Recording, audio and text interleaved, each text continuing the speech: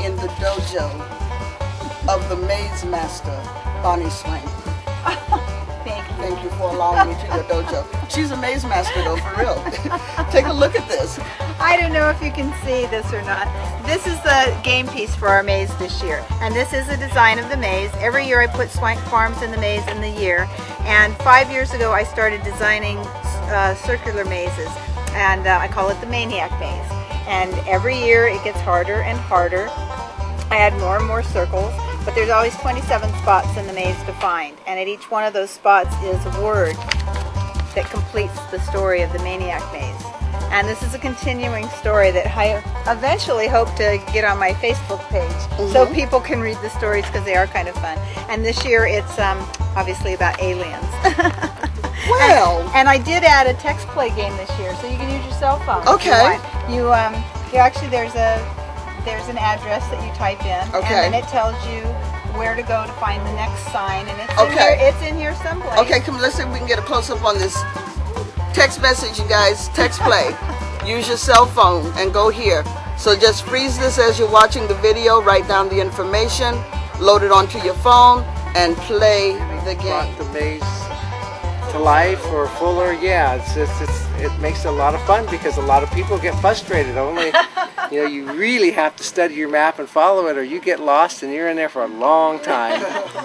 But I had some boys um, on a field trip from San Francisco last week, and they found all 27 signs in 45 minutes. Yeah. That was a record. And the quickest anybody had found them before that in this particular maze was like a mi- an hour, five minutes. So they just they just Ooh, so smashed they it. just- They smashed. Wow.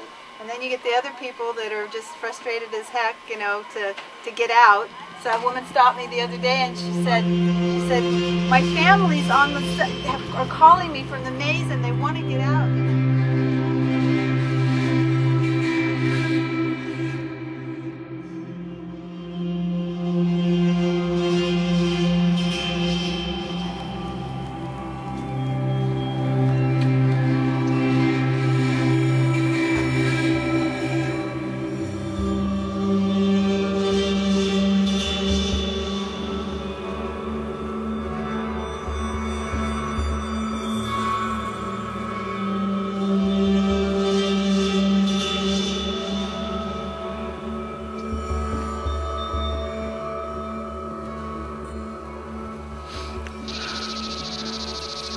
I'm inside the maze.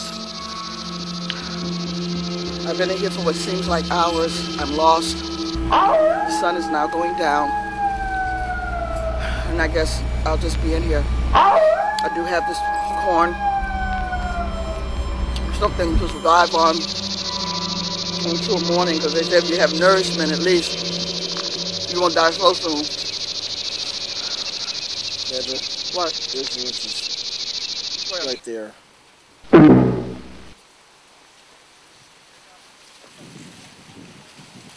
Really didn't have to do that. Okay. I was trying, you didn't have to do that. Okay. That was ugly. Just telling you now. It ugly. You hate me. Okay. All right.